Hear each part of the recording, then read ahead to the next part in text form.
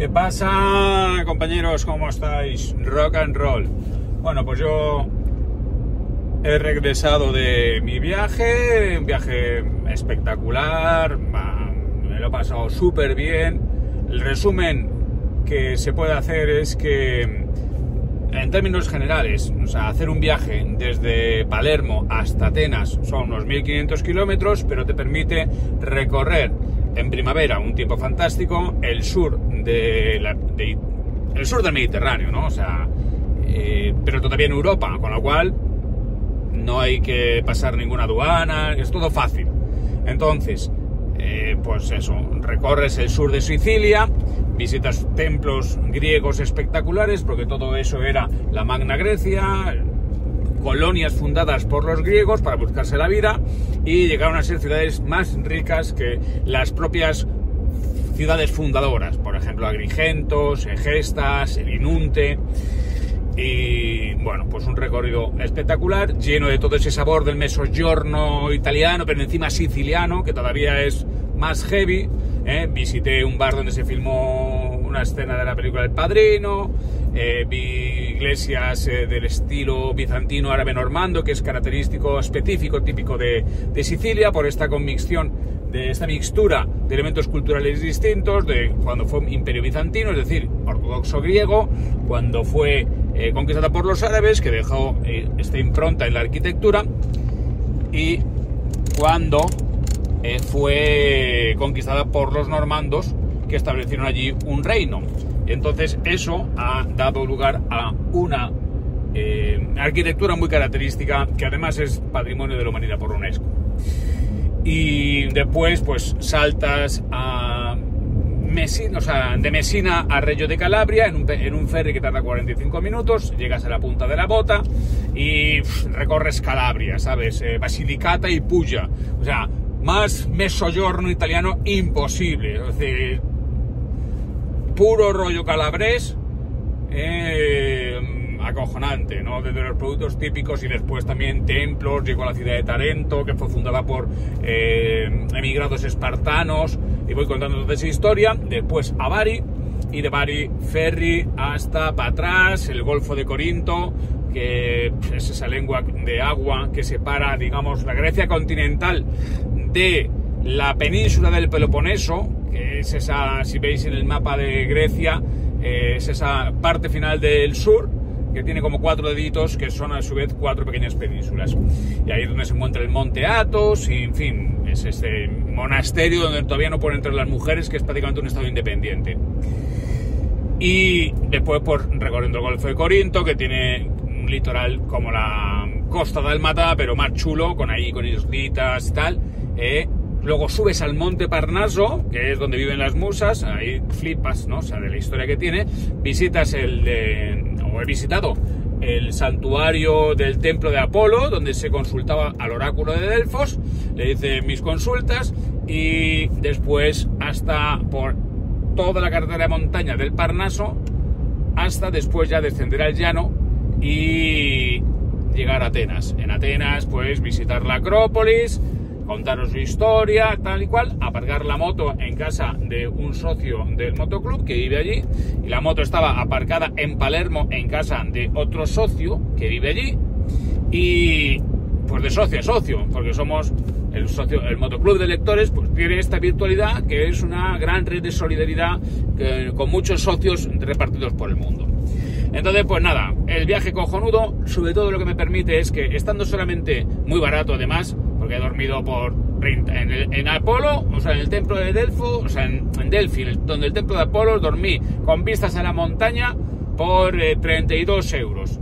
La comida tirada en, Grecia, en, Sicilia, pues eh, lo más caro que pagué fue un día que pagué en un hotel cerca de Tarento 60 pavos porque buscaba un hotel a mitad de camino, a mitad del viaje, que tuviera gimnasio para entrenar un poco y no perder eh, mi rutina y así no sentirme tan anquilosado sobre la moto. Eh, pero vamos, si no, todo 30 pavos para dormir, 30 pavos para comer, de todo el día.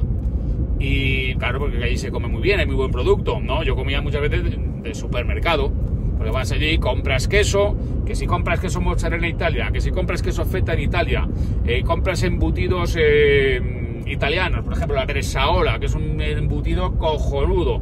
O sea, para aquellos que estáis pendientes de las cualidades nutricionales de los alimentos, la Bresaola es carne de ternera eh, que se ha curado lentamente como la cecina y tiene un 34% de proteínas y muy poca cantidad de grasa.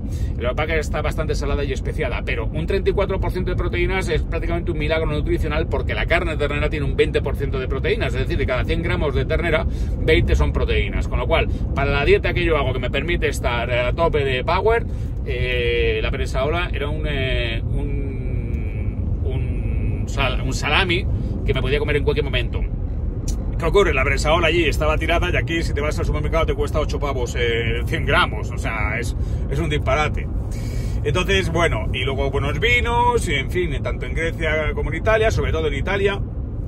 Así que muy bien, ¿no? Y luego toda esa eh, extraordinaria cultura eh, que hemos, eh, a mí me encanta las, eh, los yacimientos arqueológicos, explicarlos, contextualizarlos, contar un poquito su historia para que la gente lo entienda, ¿no? Sin dar demasiados datos de fechas concretas, sino simplemente ubicándolo un poco cronológicamente con el siglo, ¿no? Porque yo creo que lo más importante es el siglo, ¿no?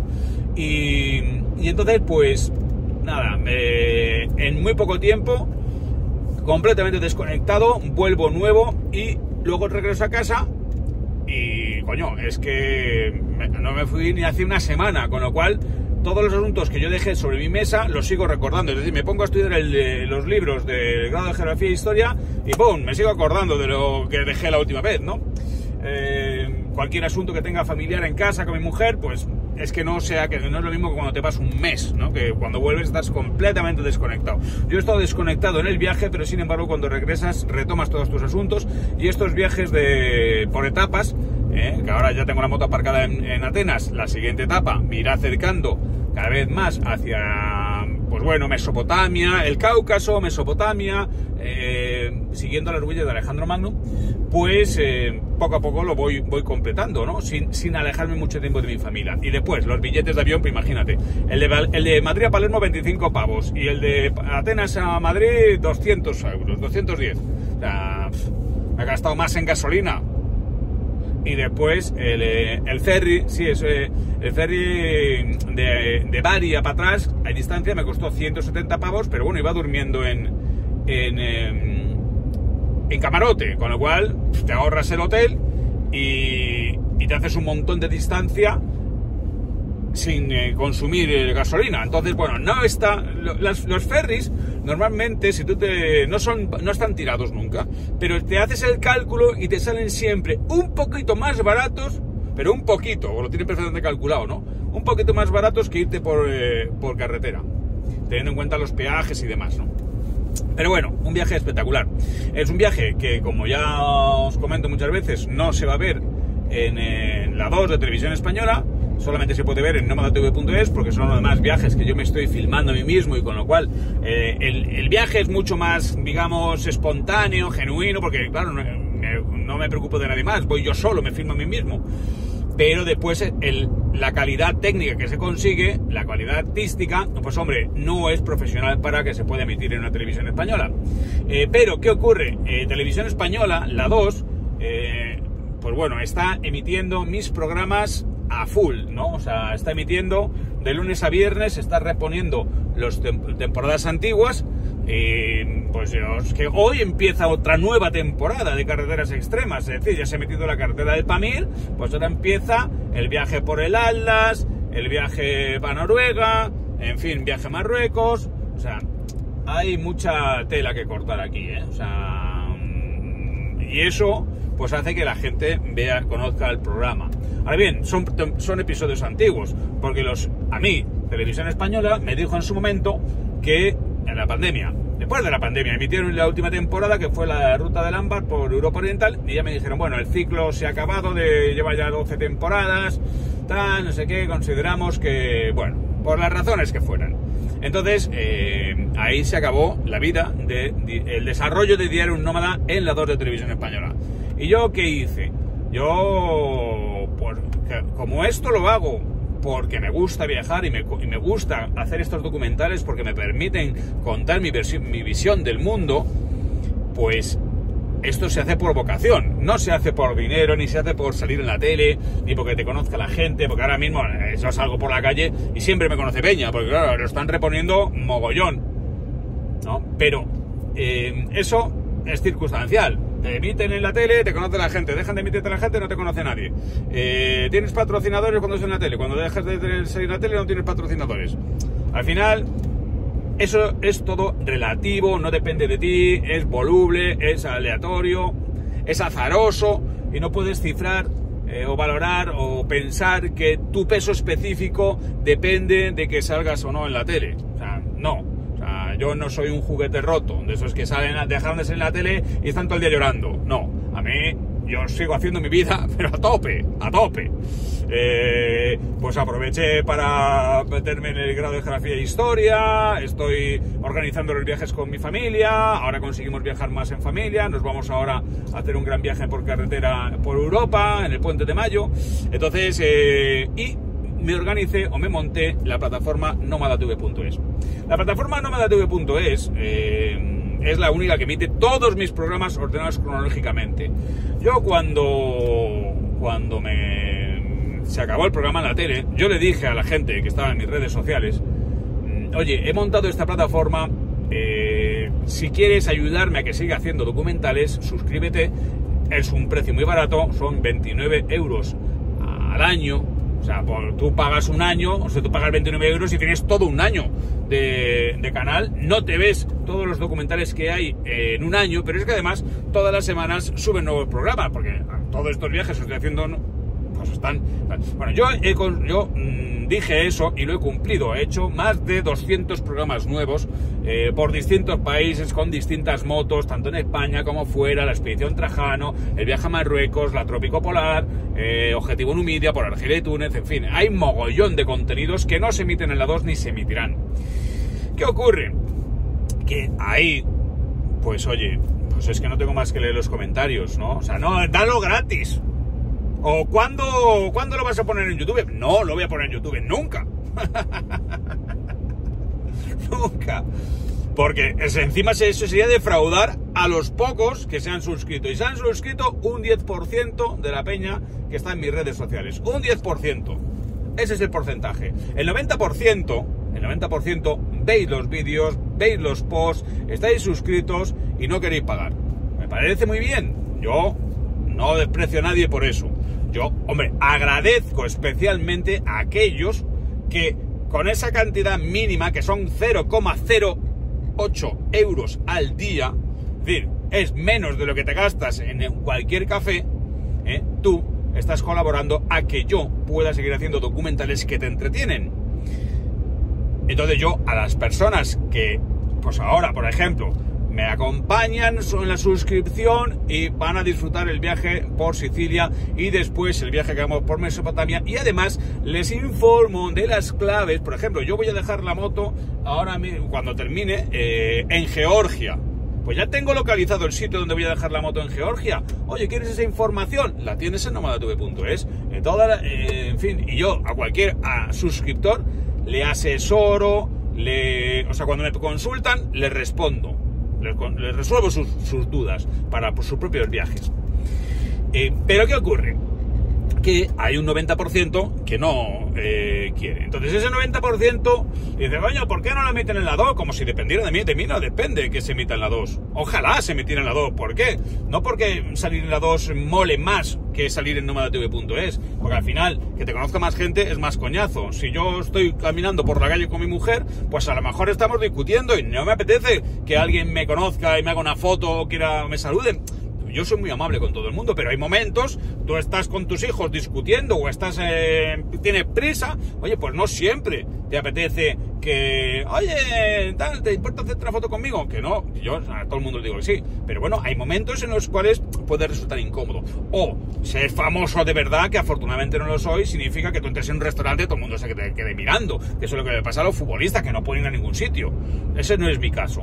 A mí se me conoce y reconoce, pero bueno, lo relevante de si yo vendiera los, de nuevo los programas a la tele sería que sería mucho más fácil conseguir la financiación para poder hacer los viajes y los programas, porque los programas cuestan dinero, es mucho trabajo, no solamente los hago yo, yo los filmo, yo los guionizo, yo los produzco, yo los monto, pero después tengo que contratar también gente, tengo que contratar cámaras, tengo que contratar un, sonidista, tengo que contratar gente que haga la postproducción, que yo no, yo no tengo esa eh, cualificación técnica ni el tiempo.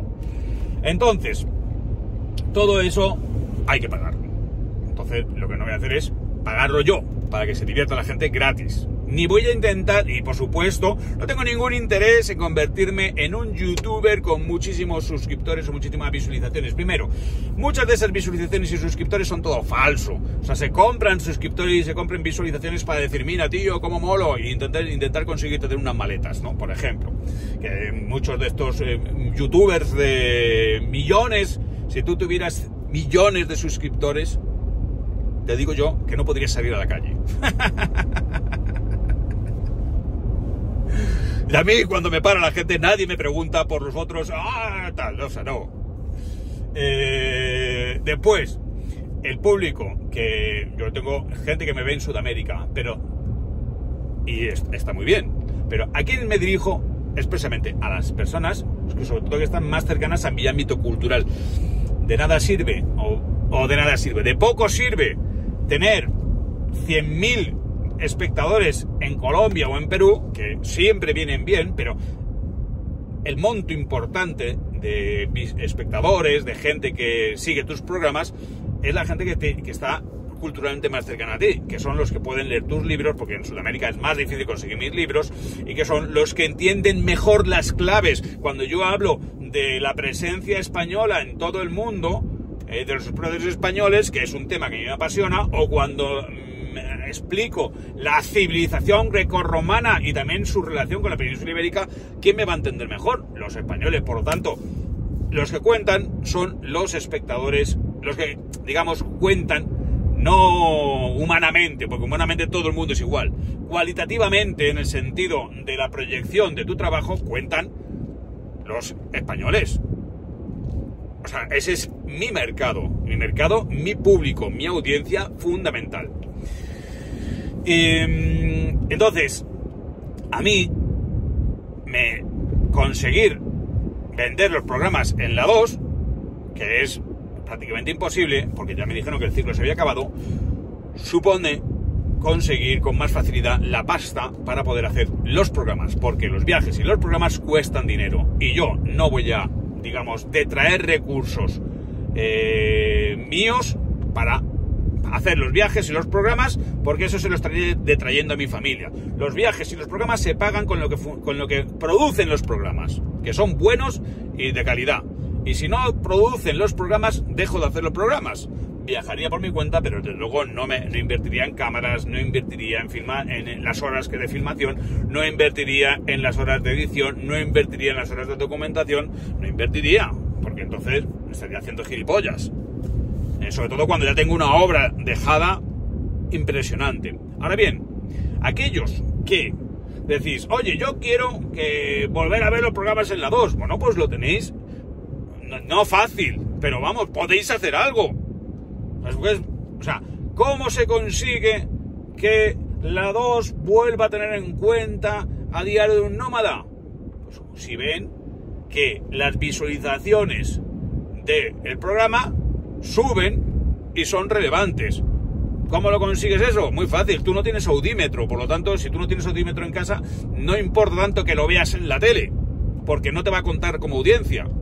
Pero sí te va a contar como audiencia si lo ves en RTV Play, y, lo, y sobre todo lo compartes. Es decir, si tú coges, entras en RTV Play, buscas Diario Un Nómada, tiene las 12 temporadas ahí, son gratis, y tú publicas en tus redes sociales, compartes los episodios de Diario Un Nómada en tus redes sociales, estás multiplicando las visualizaciones. Ese es el único modo en el cual yo podría después dirigirme a la 2 y decir, oiga señores, que es que el programa lo está viendo bastante gente. A lo mejor convendría que eh, comprar temporadas nuevas. Entonces yo te lo comento. La verdad, que tú veas RTV Play en Diario Nómada no me, no me beneficia. Es decir, de eso no se cobran royalties, de eso yo no vivo. O sea, yo lo que te recomendaría es que vieras los mismos episodios, pero en nomadatv.es, porque tienes todos los programas nuevos, los programas antiguos que nunca se han emitido en la tele, los que se han emitido en otras teles y también los que se han emitido en la 2. Pero ¿qué ocurre?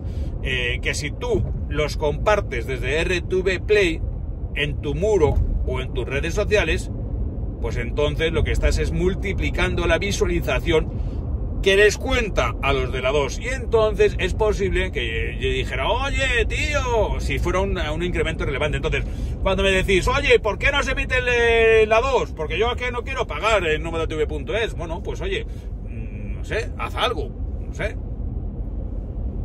Compártelo, míralo allí, compártelo, que se difundan y que se multipliquen las visualizaciones y entonces se puede decir eso. Y como os digo, a mí las visualizaciones que tengan RTV Play me dan lo mismo. O sea, no, me, aportan nada específicamente a mí. Pero puede indicar en la 2 que el programa gusta e interesa. Bueno, es un es no sé, algo que comento si alguien tiene interés en que volver a ver el programa en la 2 algún día. Los, los programas nuevos o que se hagan nuevos programas para la 2. Bueno, y si no, pues eh, ahora cuando repongan esta última temporada, pues yo creo que ya se terminará, porque es que han echado seis temporadas seguidas, no sé si echarán las 12 seguidas, pero bueno, en todo caso tiene un límite, no van a echar las 12 y volver a echar las 12, así que se acabará Diario un Nómada, o sea, y no lo verás. Pero bueno, yo como sé que a muchas personas les gusta, porque es que tiene unos ratios de audiencia bastante potables, es decir, es de los programas más vistos en cada día en la 2, ¿no? Pues verdad que yo no puedo estar más que satisfecho con el trabajo realizado y con la respuesta de la audiencia. Ahora bien, depende de la audiencia en que se pueda recuperar. Hola muchachos, rock and roll y el que quiera colaborar de verdad, ya sabe, lo tiene en nomadatv.es, puede ver todos mis programas por una cantidad módica o puede añadirse al círculo de lectores ¿eh? comprando un libro y leyéndolo, porque son cojonudos. Por ejemplo, La Vuelta al Mundo en Moto es un libro y un millón de piedras. Son dos libros que tendría que tener todo el mundo que le gustaran los viajes o no. Y los tienes en miquelsilvestre.com. Así que nada, rock and roll.